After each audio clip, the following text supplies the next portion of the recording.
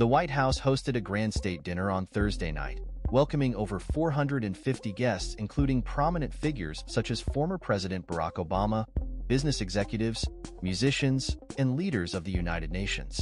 The event was in honor of Kenyan President William Ruto and his wife, Rachel Ruto. The guest list also featured celebrities like actors Sean Penn and Wilmer Valderrama, as well as political figures like former President Bill Clinton and former Secretary of State Hillary Clinton. The dinner, held in a transparent pavilion on the South Lawn, was a lavish affair with over 1,000 candles decorating the venue. The menu included a chilled heirloom tomato soup, followed by a main course of butter poached lobster and smoked beef short ribs. Entertainment was provided by country star Brad Paisley and the Howard Gospel Choir. The presence of high-profile guests and the warm speeches exchanged between President Biden and President Ruto highlighted the strong alliance between the United States and Kenya.